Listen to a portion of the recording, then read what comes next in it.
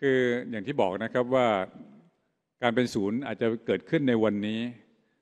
แต่พรุ่งนี้คนที่ฟักเชื้ออยู่ที่ไปสัมผัสกับผู้ป่วยรายก่อนหน้านี้ ซึ่งเรารายงานกันมาตลอดถึงแม้จะเป็นหลักเดียว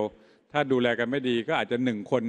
อย่างเช่นที่เกาหลีนะฮะหนึ่งคนติดไปแล้วหนึ่งร้อยกว่าคนนะครับ แล้วก็ต้องตามอีกสองพันกว่าคน ของเรานี่ก็เหมือนกัน ถ้ามีแม้แต่หนึ่งคนที่ยังเกิดอยู่เมื่อวานนี้ เขาอาจจะไปสัมผัสกับใครมาทั้งหมดนี่เป็นหน้าที่ของทางกรมควบคุมโรคกับคนที่อยู่ที่ท้องถิ่นนะครับต้องช่วยกันดู และแม้กระทั่งญาติญาติๆกันเองก็จะต้องดูดูอาการของตัวเองด้วยเหมือนกันว่าจะติดหรือไม่งั้นต้องไม่มีเชื้อกันไปต้องเป็นศูนย์ไปตลอดเนี่ยครับอาจจะต้องมีบางทฤษฎีบอกว่า 14 วัน แต่มีบางทฤษฎีบอกไม่ได้หรอก อาจจะต้อง 21 วันซะด้วยซ้ำคือศูนย์ทั้งหมดเลย แต่ตอนนี้ยังไม่มีรายงานอย่างนั้นครับ แม้กระทั่งจีนเอง ถึงแม้ศูนย์มาหลาย